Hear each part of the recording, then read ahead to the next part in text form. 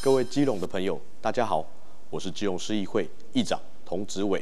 欢迎收看民意交响曲，在这里可以听到不同的意见、想法，可以畅所欲言，和我们一起监督市政，让基隆更骄傲、更进步。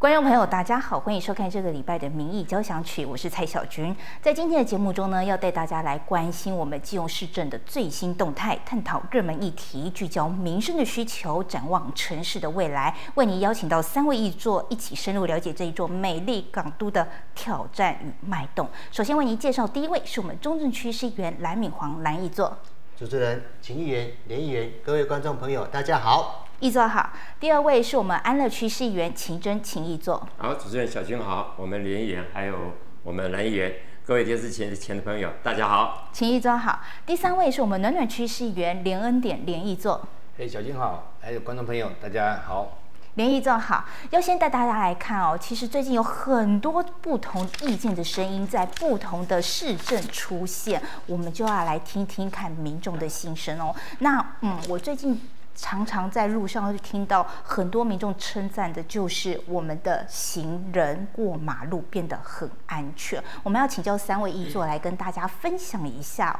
就是市长上任施政以来，你有没有听到让你最感动、最有感的一些得政？我们要先请教蓝敏黄蓝议座。好，谢谢主持人啊，给我们这么好的机会来做市政的宣导。事实上，两年前呐，这个国外的媒体啊，纷纷都用。这个行人地狱啊，地狱行人来形容台湾的交通。所以谢市长上任之后啊，第一个重要的政策就是啊，这个推出所谓的行人友善的政策。那这个政策啊，到目前为止非常的成功啊。我一一来跟大家说明跟介绍。首先，目前啊，我们基隆市啊，已经成功的呃画设的绿斑马，总共有一百三十四处。那这个绿斑马，我想大家都啊到处都可以看到，也大大的。提高了啊，民众都会主动的来啊走这个斑马线过马路，同时也让驾驶人很很清楚的可以看到行人在这个穿越马路，所以大大的降低车祸的一个数量啊，这个是非常好的政策。那么另外啊，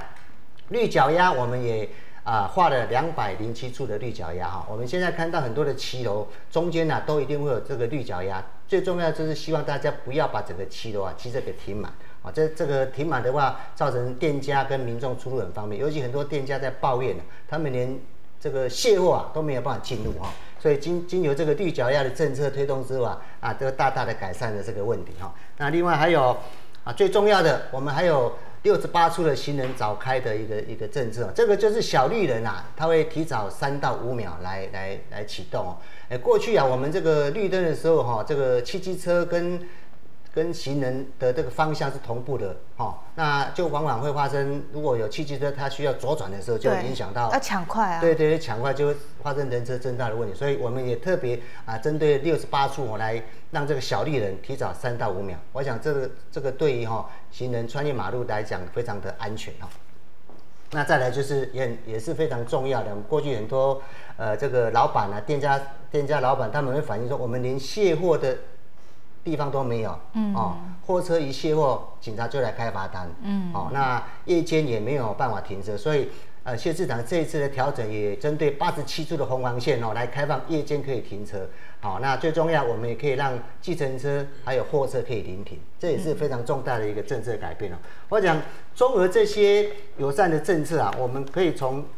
这个最新的交通部的数据可以看到，这个是我们。最近啊，三年每十万人事故死亡率啊，基隆市啊已经大大降幅到只有八点六。你看看我们中南部各县市都二十几趴，哦，那平均全台湾的平均是百分之十七。那经过这一两一年多来的改善，我们基隆市每十万人事故死亡率已经降到八点八哦，这个是非常好的一个成果。希望啊，我们可以共同来，对对对，这个得奖，我们应该共同争取这么好的政策。另外，这个是我们一百一十一年。一百一十二年哦，行人交通事故死亡的件数从五百三十件下降到四百一十五件，那么行人交通事故死亡的人数也从五百一十一人下降掉三百九十五人。我想，这两个表啊，就可以充分看到，呃，谢市长所推动的行人友善政策已经产生了具体的成果。那我们希望所有的市民朋友继续遵守我们新的交通规则，我相信基隆市啊，一定可以啊，成为最友善、最安全的一个城市。对，的确数字会说话嘛。那当然，这个也得到全国的一些肯定奖项。那要请教秦真义作，是不是有对于这方面新闻安全有看到不一样的亮点跟特征？啊，是这样子，因为我想一个新的市政团队上来，它有它的一些公共建设。我认为说公共建设分成两种，一种是硬体的公共建设，一种是软性的公共建设。像刚才我们所讨论的，呃，我们这个友善行人空间的绿斑马线，还有骑楼整平等等，我想属于软性的一个公共建设。刚才我们那个蓝眼也把一些数据提出来，在我们谢市长上任到现在执行的这些绿斑马线，或者说呃骑楼整平等等的一效的数据提出来，表示说这是一个成功的一个政策的推行。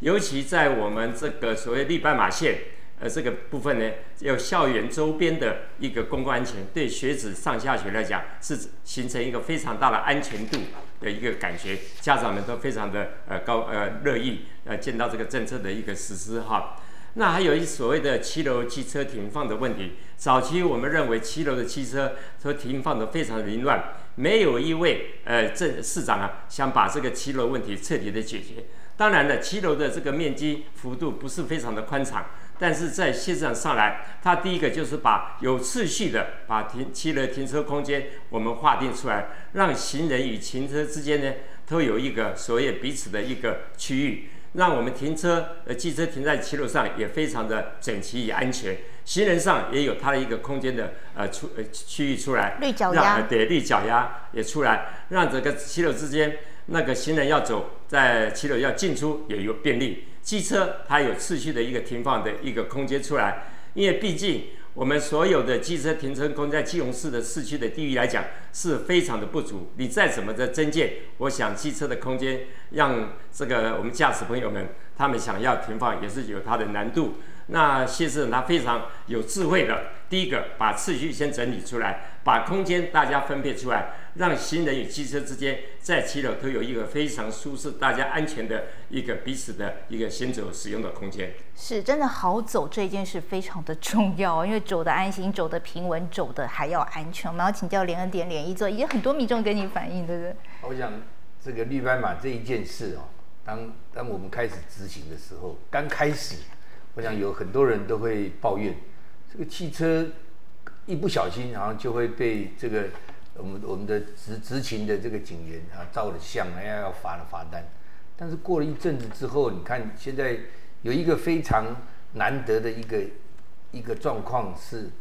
我们车子过去让了车子在那边等，让了行人先走，哎，他还会跟你打个招呼，谢谢你，那个一一片这个祥和的感觉。就觉得我们真的是我们的礼仪已经有进步了，不像以前，诶，这个左转的时候还要闪，然后瞪你两个眼，你就意思说你就不让我，你就还有我人在这里这样。我想现在这种情景已经都见不到了。那特别是这样子，刚刚我们看看我们南议员也这个说出了这个带出的数据啊，确实车祸率已经降下了一半以上，这个是真的一个新的这个市长他的政策。他真的是有用心的来做做这样子的调整和和改善。那另外再说到绿脚丫，我想非常多的店家，因为我们的暖暖区也比较不在市中心，没有这么的诶，像就像市区里面那个骑楼的部分，诶，大家真的在用。那我们特别是在比较偏诶，就是说车子没那么的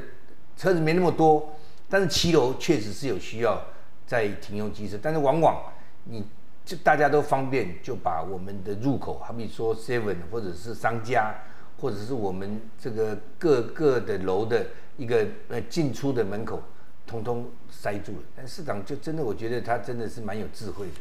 大家彼此把空间都空出来啊。那这个至于也留着，诶，你也不能停到很满，就是说把后面的位置都占满了，让这些的。不管是轮椅啦，或者推婴儿车的人都没没有这个位置一定都空好，立脚丫的部分就是把它分配好，那让每一个人在行走或者是不管用路的，或者是你要嗯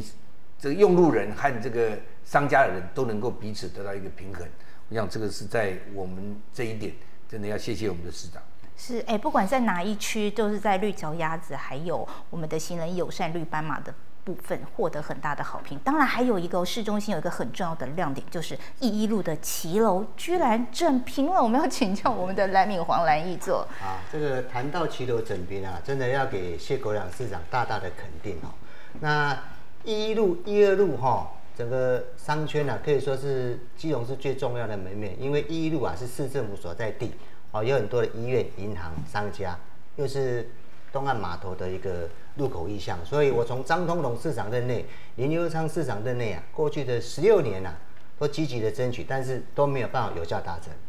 谢国良一上任之后啊，我就还是跟他拜托，一定要把这一段的骑楼整平优先来做。那最重要的，能不能做，就在破例两个字。哦，过去的两任市长都怕得罪店家，都不敢强制执行。那这一次啊，我跟谢市长。拜托沟通之外，我们加强的跟商家来来沟通，那也达成一个共识。如果你不同意的，我们就跳跳过啊，你以后你不要后悔啊。也就在这样一个破裂之下，终于后来听说有店家还回头拜托对对对对。后来执行下去之后，我们先看看这个哈，这个只是中正路一个路段哦。你看改善前跟改善后看差多少？这整个不但七楼啊整平，而且漂亮啊，整个门面都起来了。那在这个施作过程中，我要谢谢所有的店家的配合。当然，后来有一些原本没有要参加的店家，后来也陆续的参加。我我们还是一样帮他做。好，那我希望说跟市民报告哦，这个七楼成品可以说是很多市民啊，我们谈论很久、讨论很久的一个一个政策，终于在谢国阳市长任内啊，具体的要来做。那今年呢，我们要分三期哈。那一二期已经完成了哈，一二期哈就是第一期、第二期，其实就包括一路、一二路、信三路、信五路、信六路，哇还有爱一路、孝一路、孝二路、孝四路、中二路，哈，这两个路段已经完成了。那么第三期，也就是第第四季，我们将将针对这个这个这个爱山路、仁山路以及妙果商圈哦。来把它完成，也就是说，今年的政策就是针对环港商圈，也就是从火车站周遭的骑楼、庙口商圈的骑楼到一一一路的骑楼，我们把它完整的完成。一年的时间，谢国良就做到了骑楼整平的呃第一步啊。我们呃希望啊所有的市民朋友一定要啊来珍惜这个得来不易的政策，也应该好好的来谢谢市长的魄力。对，骑楼整平这一件事，大家都看到一些不一样的地方，因为没想到，哎，真的可以平的，然后推车、推轮椅，的确都变得非常的方便。而市长还有另外一个很棒的一件事情，就是室内儿童乐园。你知道，在七堵区几乎变成了一个新景点，知道吗？大家都会。带带新带着小朋友，然后坐着火车到七堵火车站，然后就去玩七堵的儿童乐园。那我们要请教我们的情真情义做安乐区的儿童室内儿童乐园也非常的有特色。那民众对你的反应有什么呢？呃，其实这个儿童室内游乐园哈，谢市长的一个政策，起初大家认为是说，呃，到底有什么成效，或者会影响到其他的娱乐设施的一些营业者的一个所谓的呃所谓的竞争呢？其实，当他做好之后，其实造就了我们这些阿公阿妈，在平时在照顾他儿孙的时候呢，他有一个时间，有个地方可以带他孙子去。平常现在我们看到我们的阿公阿妈的最有用的这个功能，就是说来照顾这些阿孙们，啊，在平时当这些爸爸妈妈上班，阿妈阿公在照顾孙子的时候，他要带着小朋友去哪里去玩呢？小朋友在家里天天看电视也不是个办法。对不对？所以说，我们谢市长他把基隆七个区的儿童室内儿童游乐园，呃，所谓的设计完成造就出来，那每个区的那个内容完全都不一样，让我们这些呃家长还是长辈们带着这个儿孙辈们去的呃游乐的时候，可以去不同的区域去尝试去游乐，会引起小朋友大家一个所谓的新鲜感。尤其在我们七堵区紧邻的隔壁就是戏子。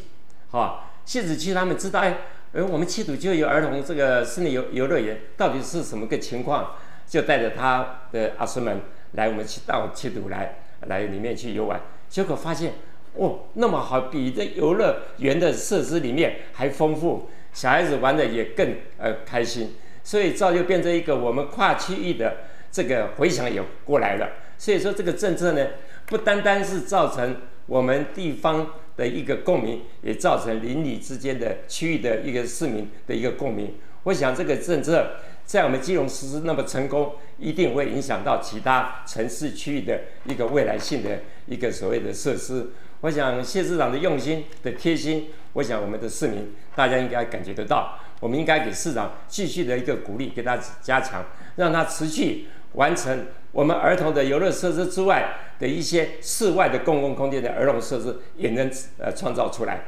哇，对室内儿童乐园这一件事，真的很多家长很有感，因为下雨的时候不用担心没有地方去，就可以带到那里去放电。我们要请教我们的联恩点联谊座，其实一区一特色，暖暖区也即将要有了，对不对？我想我们暖暖区应该在最快是年底，那不然就明年初即将完成哈。它的位置就在我们暖暖区公所的五楼。那我想这个市长上任之后，从呃新余区最先开始，我也有去参加的开幕。还有气堵这些的部部分，那我想其实这一些的，刚刚清源讲到阿公阿妈，其实有的的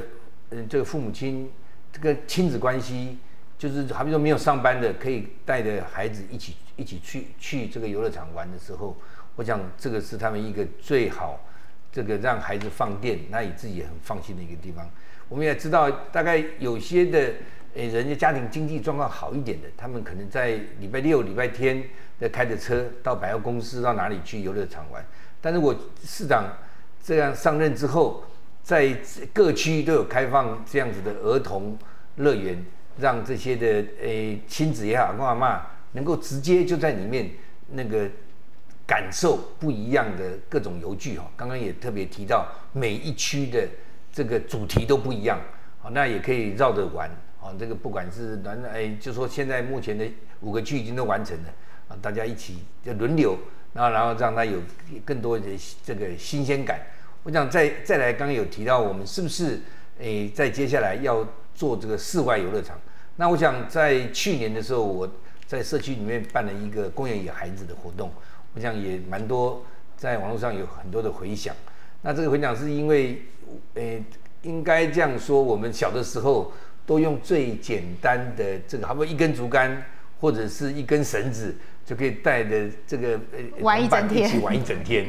那同样的用这样子的概念，哈，我们就是用我们在用简单的东西，然后让聚集一起，然后在这个诶公共空间在玩。那基隆当然碰到这个好天气的时候，我也建议我们市政府，现在我知道已经正在积极的筹措，那做这个行动的。这个这个应该是游乐器具啊，每一区如果有有比较空旷的地方，包括公园还讲那个游具可以行动。哎，这个礼拜好比说在暖暖区，下礼拜在中正安乐各个区都可以动得来。我想这样子，诶，让大一点的孩子不要到这个儿童乐园里面去玩的，到那边去更能够有感。我想让家长，特别是。尤其是男孩子，对，放放电，好好放电，然后这个妈妈在那边轻松的在享受一下，对对，然后看着又很又很安全的在那边玩，我想这是家长们最大的期待。是，真的就很有感，因为家长都想说啊，下雨天要带小朋友去哪里玩呢？现在都不用担心了。我们要请教蓝女皇蓝一泽。好，我想这个谢国良市长一上任啊，就积极的来兑现他的选举的政见哈。那一区一个儿童乐园呢，也是它的证件。那目前为止已经啊有五个区已经完成了哈，这个就是啊五个区的儿童乐园的现况。每一区都有每一区的特色哈，非常非常的安全，非常的好玩哦。那我在这边补充报告，我们这个政策啊，一个礼拜就是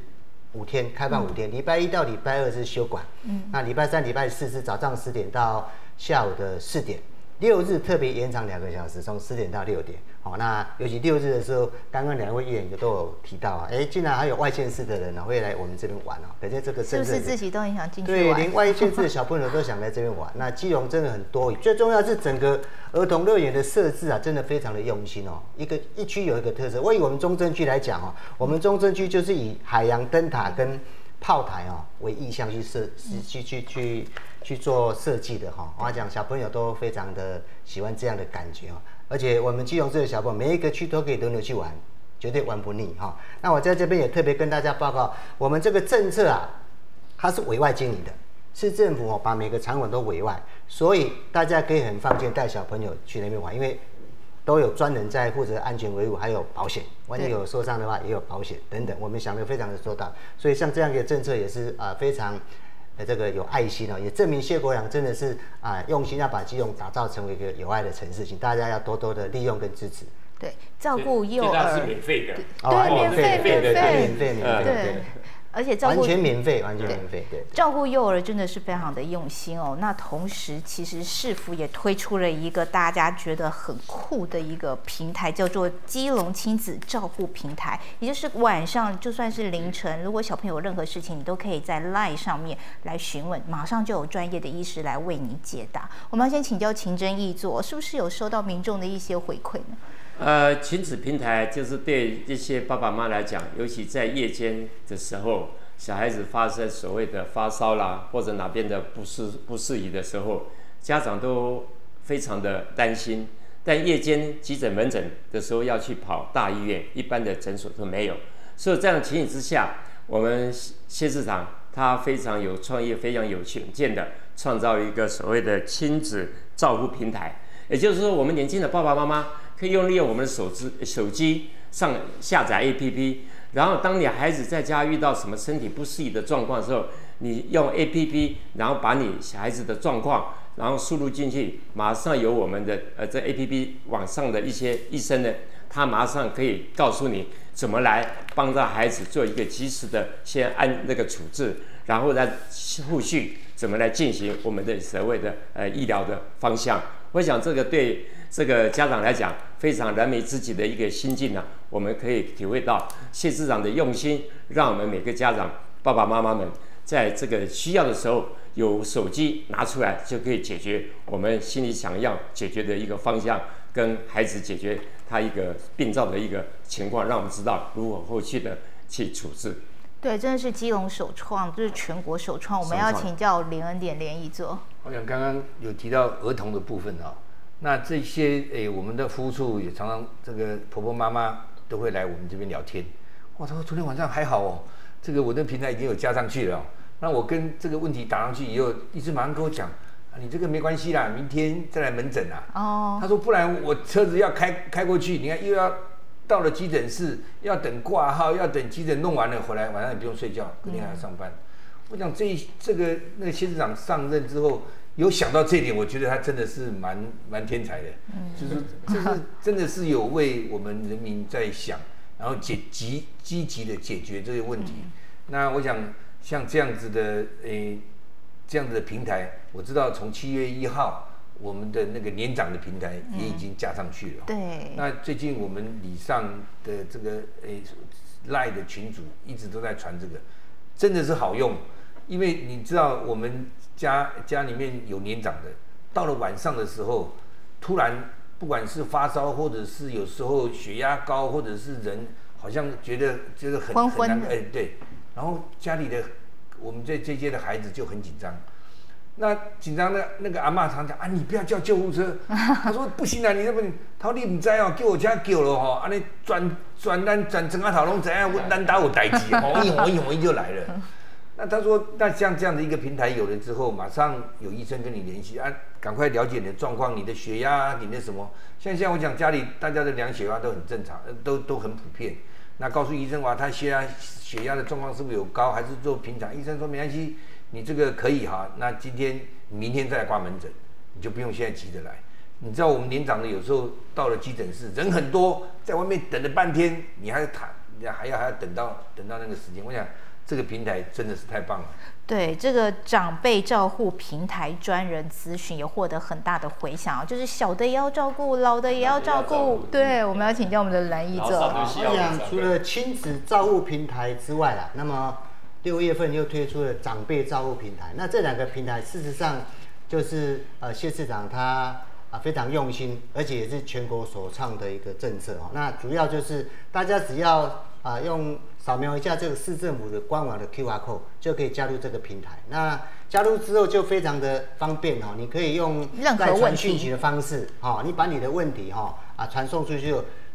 官方单位在收到你的讯息五五分钟之内一定会回复你相关的资讯。那么回复你的都是专业的医师，还有护理师哦，他们所组成的一个团队，而且是二十四小时免费的咨询。那最重要的，谢市长的用意是希望说在晚上，因为我们都知道晚上九点到凌晨七点这段时间应该没有医疗院所会开嘛。晚上的时候，如果家里的小小孩子、小朋友有任何一些问题的话，都可以透过这个平台。最起码我们可以第一时间有专业的医师、护理团队给你一些简单的咨询，免得你晚上啊会会因为小朋友不舒服啊、长辈不舒服而感到呃这个手忙脚乱。我想这个政策非常的好，也希望市民朋友赶快啊加入手机加入这个平台，我们马上可以享受这么好的一个政策。也希望我们的市民朋友、小朋友。啊，要这个长辈啊，都能够啊，在政府的照顾之下，能够过得很幸福、很健康、很快乐。对，就是要平安健康啊，就是像有一个医生，就是你的好朋友一样，有任何问题都可以上线来询问他。那另外一个呢，就是要打造嗯小朋友的国际视野，打造我们基隆学子的国际视野。像是基隆市政府就与博客来合作开设了课程，我们要先请教蓝敏红来一个。哇，这个这个这个。与博客来分校哈合作这个课程呢，更是全台首创哈。那这个政策是因为谢市长他自己是留美的硕士，所以他知道这个国际教育哈的重要，所以他这一次特别跟海洋大学啊，通过我们海洋大学跟伯克莱大学的分校合作，那我们是用视讯教学的方式哦，让两边的高中生同时上课。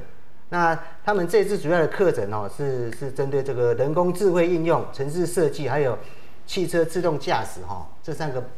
三个系统的课程在上。因为国外这三个课程非常的流行，所以谢市长抓到这个风潮，利用这次机会，也让我们的高中生能够透过这个这个合作的方式，跟美国的高中生一起来上这个课。那结训之后啊，还有证书，我想这个对每个同学的鼓励啊，非常的大。那也希望借由这样的。政策能够大大提升我们高中生哈这个国际观，最重要要激发大家哈要这个努力学英语的环境，因为国际化最重要还是要把英语学好。我想这是谢国良他自己是啊留美的学生，所以他也知道这个重要性。那很高兴他能够把这这个政策落实在我们基隆。对，就是把机会拉进来，让大家可以走出来，进入国际上，看看不一样的世界。那除了这之外呢？其实民众晚上在睡觉的时候很怕吵嘛，被吵醒心情都会很不好。有一个方案也很获好评，就是取缔改装车的宁静街坊专案。我们要请教秦真、秦一，有没有民众跟你回馈说，哎，晚上比较好睡？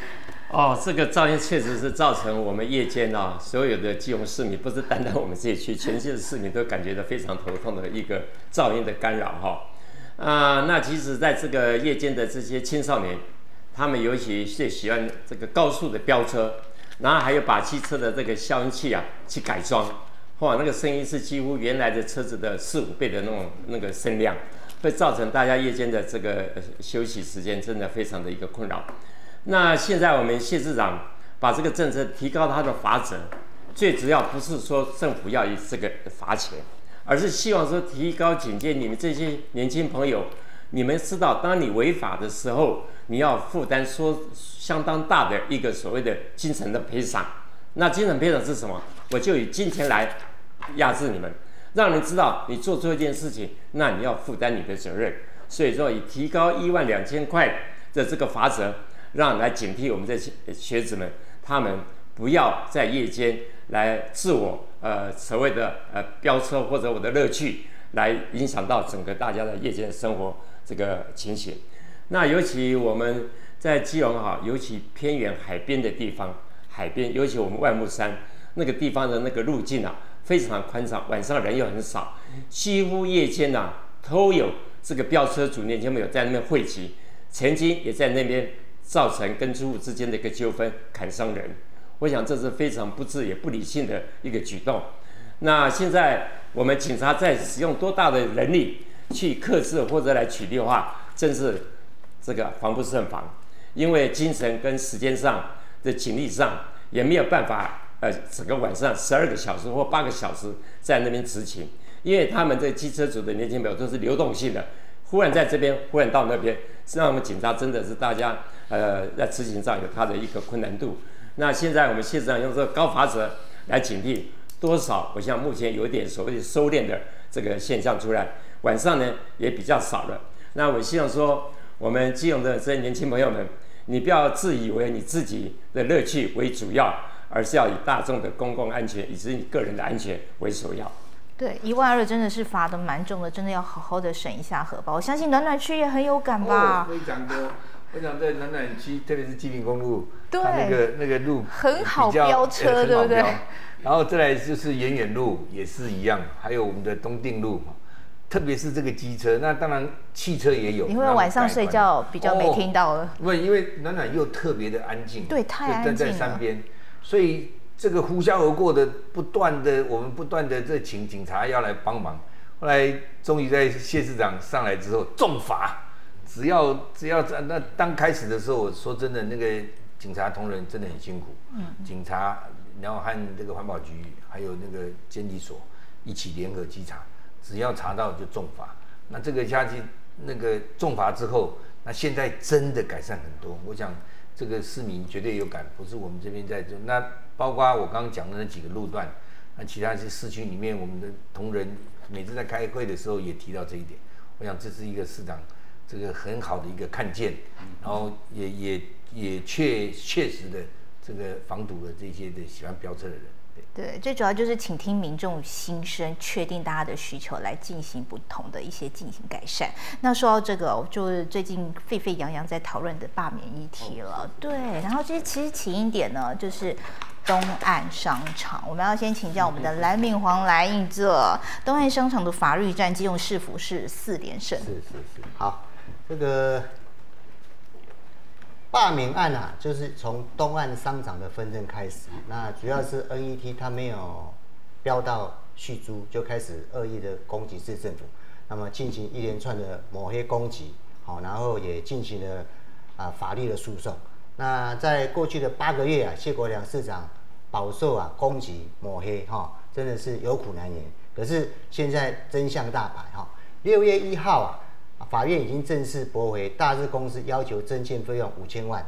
证明市政府啊是拥有产权的，没有问题。另外，八月七号，那么地方法院也驳回 NET 公司申请的民事家属份，然后八月十三号再驳回他们行政家属份。最重要的，八月十五号，我们的财政部也驳回主务公司不满维风得标的相关的异议。所以法律上啊。我们已经证实，基隆市政府绝对站得住脚。相对的是啊，这个厂商他们呢，完全站不住脚。那最重要的，你看看八月二十八号，大致公司的负责人等十一名哦，一被这个地检署以贪污行为罪起诉，总共十一个人。由此可见啊，整个东岸商场哦，就是一个一个一个一个一个假的议题。那民众党有心人士操作这个议题要罢免市长，已经完全没有正当性。所以在这边借这个机会啊。跟市民朋友这个报告哈，谢市长啊，成功的把我们的市场给保护下来了，请大家一定要支持他。那东安商场，我再强调一次，他是在李李进勇市长任内啊，我们市政府花九亿向港务局买土地，到了许才利市长的时候，再花三亿把它盖起来。那么张通龙市长卸任的时候啊，产权清清楚楚的交给林佑昌市长，让他去进行 OT 案。结果林佑昌市长八年卸任之后啊，没有把产权移交给市政府，哦，还制造啊厂商能够跟基隆市政府啊抢夺财产的争端了。我想这个在法律上啊，已经证明谢国良市长是对的。相对的，我们现在应该去检讨啊林佑昌前市长的赌资的缺失哈。那相关的纷争，法律已经清楚证明市政府。西隆市政府都是依法行政，完全合法。所以说这次的罢免案啊，我觉得没有正当性。希望市民朋友一定要理性的来面对这一场罢免。希望大家都能够站出来投不同意罢免，来支持谢国良，来还谢国良市长一个清白。哎，说到这个罢免案，就是这个东岸是个起点嘛。那他最近又传出弊案，就是大日开发的行贿虚报营收做假账，有一名官十一名官商是遭到起诉。我们要请教请真请义者。呃，对于这个大日的案子哈，那最近呃审判说在前朝的时候有十一个人被起诉哈，但是这个案子呢？的起诉的起因，而不是在现在谢国良时代，而是在林佑昌的任期之内，已经大日公司被人家起，呃，减减掉单位，哈啊起诉，啊减掉。那现在讲这个罢免案呢，起因的就是因为呃东安停车场问题。那东安停车场的里面的一些的呃纠纷争议呢，刚才我们蓝院也说得很清楚了哈。那这边我想有一个给大家看，这这个所谓的呃台湾那个美丽岛电子报的调查报道，不知道各位有没有看到这个这篇的一个文宣哈？这里面讲的非常的清楚，也就是在林佑昌的时代，大陆公司是五千零五啊五千零五十万的得标的权利金取得这个停车场，然后在五年之内呢，开始不到一个月。大日公司趁转给所谓的 Net，呃，十年的一个合约，所以说觉得非常的奇怪。我们给市政府给他们的租约是五年，然而这个大房客呢，却把转租给第三房客呢十年的契约，我是觉得这个非常不可思议的一个所谓的契约行为。那在厂商所得标以后，以增建厂这个所谓商场面积呢，增加它的获利。金融市所收到的权利金呢，也却只有地上一楼及地下，呃呃地地下呃地上一楼、地下四楼的一个权利金的租金。那请问他增建的时候，二到四楼的权利的租金，我们市政府为什么没有去跟他去商讨呢？然后任由以五千零五十万的地下四层、第三楼的租金继续让他继续营业，他所得利去到哪里？我想这必须是我们来追查的。好，那这样。这一百零七年，Net 进呃正式营运之后，每年我们呃事故短受长三点三千三百一十一万，好，那五年合计下，我们损失了一点五亿元。好，那大日公司及 Net 在四五合约结束前，乃未将建筑物的面积两千平登记给西永市政府，那霸占了基隆市财产。那我们现谢国良市场，他维护我们基隆市市民的财产，而去把它收回来，请问有错吗？请问有错吗？所以说这个问题所造就的一个所谓的罢免的起因，完全完全的没有所谓的呃立场。那这个要追究起来责任，也许前朝林佑昌市长的市府团队是不是要出来说清楚、讲明白？然后我们后续的，我们请调单位在这个事件之后，要不要深入的去了解？把这个事情摊开，让我们金融市民知道，我们谢市长先所做的维护金融市财产的这个这个动作以及法律的程序是是不是站得住脚？我想今天已经刚才我们蓝院讲四次被驳回，然后又被起诉的十一位，我想这个理由是非常的充呃充足。我们谢国良市长所做的一切的所谓的大日这个东岸停车场的产权的争议。我们是收回来是站得住脚，为我们金融市民把保有这个财产，不然的话就被所谓的这些呃说内的公司、大陆公司，他们是无意的去取得，他转到他们的身上去，那我们损失又向谁来说讨呢？所以以上呢，其金融我们金融市民们，大家了解东岸停车场的问题。在罢免案来讲，完全是站不住脚。希望我们给我们金融市民自己的一个所谓的立场的表白。十一月十三号，我们出来投，我们不同意罢免这一次的这个罢免案。是，就是东岸的这件议题就是越烧越烈。那当然就是大日公司，它其实也烧出了性恶立体停车场的一些手绘案。我们要请教我们的连恩典联谊者。我想从这一次的这个我们的停车场这个案子哦，那看到我们林佑昌。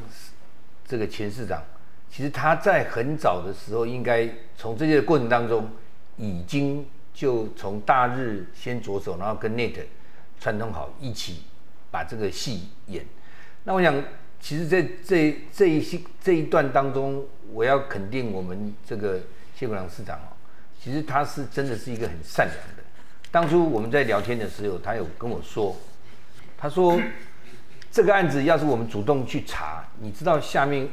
出了问题会有多少人会有状况吗？结果是真的，结结果我们公务人员公务人员都没有去提出告诉或什么。你看现在就他们还主动的来告市政府 net，那告完了以后从里面慢慢挖慢慢挖挖出来，你看练公务人员也出事了，一共这个十八号的时候已经侦侦结，就是有有十一个人，其中我们公务人员有这些在里面。倒霉的是什么？上面的都没事啊，林永昌也没事啊，但是下面的你当初签名的，当初跟人家有就就是诶就是放水的或什么，不是都出事了吗？所以说我要讲到这里，真的是一个善良的市长，这个老天是有眼的了哈。那再讲到这个大日公司之前也为了这些又又标了这个这个新的停车场，我想这个法院判的非常好，你这个过去的这些种种你没有资格再参与这个我们这个市政府的所有的标案，所以在这里也借着这一次也真的还给我们这个谢市长一个清白哈，然后再来就是这个其实这个罢免案到现在还是有些年轻人。哎，他说：“哎，当初就是这个谢国良市长去开人家的门呐。其实实际上真的不是这样，是去处理公共的空间，并没有到 Net 里面。我一直在强调，并没有到 Net 开他们公司的那个店家的门，不是，是要跟他点交公共的部分、电机的部分、你一些的电脑的部分，这些公共你没有交给他们，下一个怎么来来来来接这些东西呢？然后一直衍生，那到现在非常的清楚。”根本是不正当性的罢免，为了为了罢免，为了政治的原因要来操作这件事情。我想，我也在在呼吁我们这些好朋友，在电视前面的好朋友，我们基隆市的事情，我们基隆市的市民一定要自己来解决，然后一自己来证实，这个是我们这件事情是真的是公益善良的公益。然后也在请大家在十月十三号一定要出来投票，不同意。马明案，谢谢大家。是除了我来补充一下，所以这个东安停车场当初在招标是用 OT 案的方式招标出去，在整个招标的过程中，OT 案、BOT、ROT，它的最终的这个结论是什么？所有的产权都归于基隆市政府的，而不是属于个人的。今天 Net 跟大陆跟在争议的是说，他们的产权属于他们，这是完全站不住脚的。再说当初是以 OT 交标出去，为什么林佑昌市长变成后 ROT 给他呢？ROT 假如你要变也是可以，是要把 OT 案子废掉，重新招标，以 ROT 来招标才对，而不能用口头的允诺他变 OT 到 ROT 这这个过程。所以说这个事后呢，我们检调单位应该深入的去了解，让这个事情让大家呃了解说这个过程到底有没有其他的所谓的不恰当的一个弊端在里面。那刚才我们林议员讲讲的，当初为什么去点交晚上去点交？因为我们的合约日期就是那天晚上十二点之后合约到期，而我们市政府跟原来的大日公司的厂商第一呃成约的人去点交地下四楼跟地上一楼的机房，而没有去点交到他们任何商家的所谓的产权，所以说他们是借题发挥来来把这事端引起来，造成一个所谓的强占，或者说来来呃。霸占人家的这个呃不恰当的行为，而来发起这个罢免行为，我想这是完全是不合道理的。其所以再次补充，希望我们基隆市民朋友们，大家要了解这个罢免案子完全是他们故意炒作起来的，而是输不起要翻桌的一个所谓的动机。是除了这个东岸商场会大让人争议之外，另外还有一个让人争议的就是我们的公车的议题。就基隆市的公车真的是，唉。很多事，我们要请教蓝敏黄蓝一座。好，我想这个民进党为了罢免谢国良啊，真的是无所不用其极，连公车都可以拿来胡说八道啊！你看看谢国良市长内连续发生的几起公车的故障事件，比起林佑昌市长任内啊所发生的公车失灵啊，这个是在法国公墓前面发生刹车失灵，造成十几个人受伤，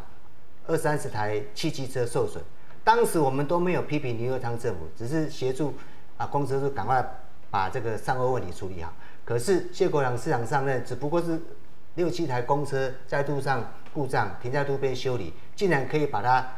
炒作成罢免的原因之一，真的很可恶。更可恶的是，明明我们只买，我们只花四千多万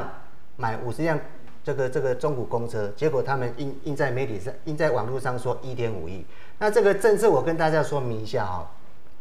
林乐章卸任之后啊，基隆市公车处有一百六十三台公车，平均车龄呢在九在十一年，那么十二年到十五年以上的有四十八台。那么谢市长一上任啊，就先啊编大概五六千万，准备把这五十台啊先给汰换掉啊，那这样子我们的呃一百六十三台的公车就可以把这个平均车龄啊降到九点二五。二五年，好，我想这样的一个平均数值哈，勉强我们的基隆市公车再拖个两三年，应该是没有问题。因为二零三零年啊，全省各县市的公车全部要汰换成电动公车，这个大家都知道。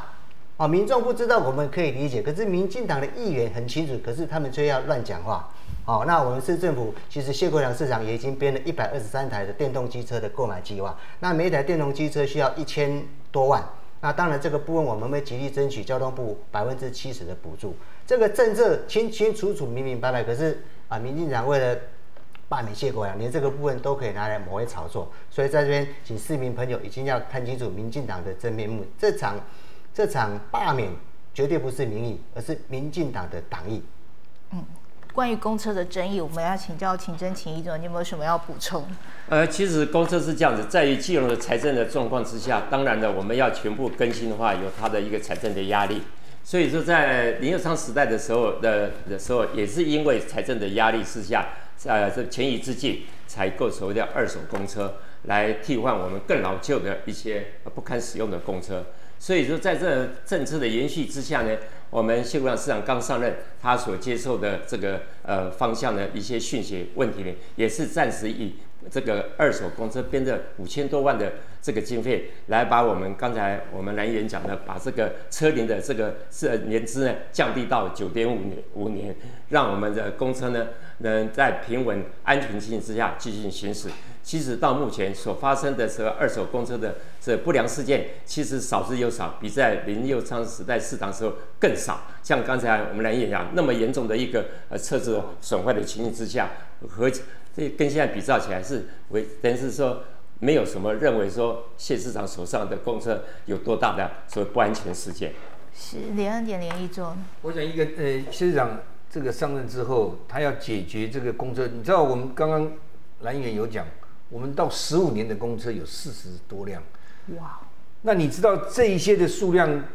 一直让它存在的话，要想用什么办法？是买新车吗？让买买还是买中古车？李永昌时代的时候，他因为这我们的这个市政的状况不是很好，那就是也是采购了一些的旧的。那那到了谢国良之后，他一定会想，我想这非常的有有智慧，是我要怎么说？你要到一百零三年的时候，就已经要全部要淘汰的，变成是电动的。那你现在在这个六七年当中，你又买新的，新的一台六百五十万，旧的大概一百一百三十万，一百就可以就可以买得到了。那为什么不把这个中古的多买一些？你车子一定是需要一百六十几台嘛，全金融是在跑，你不能为了买新的公车，然后让那些老的一直越来越老，然后新的没有几台，这个帮不上忙嘛。所以他的这个用的方式，我想他这样子在计算是非常合理的。那所以他在在这个当中，他就先诶诶，我们就采购了诶诶有四十四十多台，好，诶诶三三三十几台，因为五十台一直没有办法买这么多了。那那所以它慢慢的在替换，已经也刚刚从这个我们的嗯这个年龄率降到降到九点九点二年，九点二五年，那这是很好的方式啊。那你看，再过两年以后，那个电动车就要就要开始上路了。那你买那么多新车，到时候也不能用啊，不是浪费钱吗？那这样子为基隆市的市民来省荷包，然后让基隆市民又可以有很好的这个呃公车搭公车的这个品质，那这个这个还在那边乱讲乱讲一通，怎么故障率？说真的，李永昌时代那时候的车龄已经比较。比较好了，那现在已经比较老的车龄，故障率还比较低，还要被讲，这样子合理吗？我想这些民进党的这些的议员，我想你们真的是要要静下心来评评理，不要为了反对而反对。我想市政一定要继续往前走，必须大家一起来共同来维护，然后来协助这些市政府，然后我们督促市政府把我们的市政每一项都能够做好，那继续往前走，这才是民众的福祉。是，除了公车争议，其实还有另外一个也是引爆罢免的一个议题，就是人工草皮。我们要请教蓝敏黄蓝一座。这个草皮的话，我再 补充一下，等一下哈。好。呃，市政府前面的人哦，就是那个文化中心广场的那个人工草皮。讲到人工草皮，我我再补充一下啊。大家看这个表，我们文化中心前面有一块人工草皮哈。那美国曼哈顿林肯艺术中心门口。也有一块更大的人工草皮。其实市政府的做法就是学习美国曼哈顿林肯表演艺术中心的做法，在艺术广场周边啊增加一些绿地，好让民众可以怎么休增加民众休闲游憩的空间，因为你你水泥地不方便嘛，不管小朋友啊、老人在那边在那边玩耍啊或者休息，那一样，现在利用这个人工草皮啊，运用在这个公园周遭啊，还有这个这个艺术广场周遭，已经是全球的趋势。六都早就在做了哦。那我想反问民进党哦，高雄、台南也都有，请问你们为什么不批评台台南这种政策？所以说我在这边要提醒市民朋友哦，这个民进党啊，真的是为反对而反对哦，他们不是在监督，他们是在斗争，请大家哈要看清楚哦这个现象。我希望大家利用这一次的罢免，一定要好好的抵制民进党这种抹黑栽赃的行为啊！政治不应该是这样子，为反对而反对。好，那这次的罢免绝对不是民意，而是民进党的党意。他们想要提前改选，他们想要遮掩东岸商场整个弊案的过程。我们希望检调能够彻底的调查，还市基隆市政府一个公道，也还谢国良一个清白。是，那我们要请教秦真，请一组有没有补充？呃，讲到人工草皮，我要请问民进党议员，在我们国门广场小艇码头的那一块人工草皮，是不是人工草皮？那是谁做的？林佑昌时代他做的。那现在我们谢国良在把文化中心做更所谓适当的一个所谓的人工草皮的美化环境、市容景观，请问有错吗？你们一直强调的说有毒性，请问有毒性的产品会在市面上会来应用吗？我想你们有一点逻辑跟知识概念吧。所以说在此，我们不要为了说一意的为反对而反对，应该提出你们良善的对基隆市建设有帮助的建言，那才是你所谓民意代表的一个职责。是。我想在人工草皮部分，其实我诶，我很喜欢这个这个花花草草啊，树还有绿绿地。但是基隆下雨真的是非常的很难维护。然后特别是下雨的时候，那个那个草皮你下去溅，就会就会溅的这样子诶，湿湿的烂泥嘛。那这这个人工草皮来，我想非常的方便，然后也解决了很多的问题。好，那特别是有人说，哎，这个上面有毒。我想有毒这个东西。当然有不屑的厂商，他们的厂牌一定有可能是用比较不好的那个塑料。那但是一定这么多人在普遍在使用，全世界都在使用这，一定有它的道理和好处嘛。那不要你们讲过人工草皮，就是因为劣的厂商来说你有毒，那你就说不能用这个草皮。而且特别是在谢国良上要有用心来做的时候，你说这个这个草皮是有毒的。不可以这样子吧？你也太多，刚刚也讲到，因为张市长他不是铺了一大片吗？那你们怎么不讲嘞？啊，那就像我们台北，我最最有感的是在美丽华前面，它有一那个广场，夏天很热哎，那个水泥地很热，铺了一个绿色草皮，而且中间它有铺了一个水泥，小孩子在那边玩，在那边溜，在那边躺，多舒服啊！那为什么那个那个新北新北市还有六都，大家都在用，那我们这用的用了一点点，你们就这样反对了？我想真正好用的，呃，不是真正适用好用的东西，大家要鼓励来弄，不是弄得现在市政府也很紧张，他怕用了又又被攻击。对。所以你看现在很多的。说花一千四百五十二万买人工草坪吗？没，还没有，还没有用，只是在想说编这个预算，哦，要准备准备要用而已。哦。对，六十四个处，我再补充一下。好。你补充，嗯，补充一下。那我我再跟各位视频友补充啊，那市政府编了一千四百多万做人工草皮，总共有六六十四个点，不是一个点，哦，所以一个点的金额都不多，哦，我们希望说这么好的政策不要被人家刻意去把它扭曲跟抹黑。是，那我特别要讲一下，叫就在林永昌市长下任之前，那个各个公园，他因为说是那个不不合乎这个标准。所以把油锯，嗯，通通罐头油锯通通拆掉。你知道现在什么状况吗？全部是水泥地一块。那你说这个人工草皮如果可以铺进去，把它铺上以后，让那些孩子就在那边玩，那下雨天也不会积水，不会什么，不是很好吗？也解决了之前的不足。那可是现在市政府因为，诶，大家都这样子，诶，这个声音起来。他会觉得说这样做会会不会被骂？对，所以就让水泥地空在那边，就继续孩子真的没地方玩，阿公阿妈也没地方跑，还好有一点那个那个儿童游乐场，可以补助一点，对对，可以补这个缺点一点。我想这个我们的民意代表是不是真的好的东西，或者是不要为了反对而反对，然后跟人家一起瞎起哄？我想这你们每一个人，我相信我们民意代表都是有有智慧的，也有的行动力的。那你们可以多协助市政府来肯定这些事情，让这些民众有更多的地方，不是去玩很好，不是很好吗？是，就是这些被关注的争议的话题，我们听见了不同的声音。那时间剩下最后三分钟，我们请三位议座来对大家这个城市有未来的期许。我们先请蓝敏黄蓝议好，座我。想谢国良市长上任才一年半，他做了非常很多创新的一个新的政策，大家都看到了具体的成果。那谢国良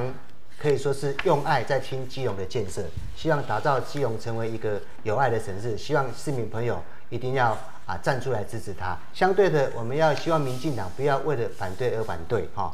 政治可以竞争，但是千万不要斗争。这一场罢免完全没有正当性，而且劳民伤财，希望民进党要适可而止。是，我们要请教秦正一者。呃，其实我们县长上任了一年半的时间呐、他把软性的建设真的做得非常的到位，让大家非常的贴心。我希望说，我们做一个民代表的立场是要提出良善的建议，当然有不好的地方可以提出来让他改善，而不是一味的批判以及谩骂，或者来污污蔑，或者来抹黑，来毁灭他的所谓的人格以及他的政见。所以说，请我们基隆市民朋友们，我们在十月十三号，我们要审思，我们要如何让我们基隆人不被霸凌，出来投这一张不同意罢免票，还给我们基隆人的一个公道，以及市谢市长的一个公道。以上。是林恩典一座。我想谢市长上任之后，其实我最有感的，他从都从人本的部分来一样一样来来慢慢来实行。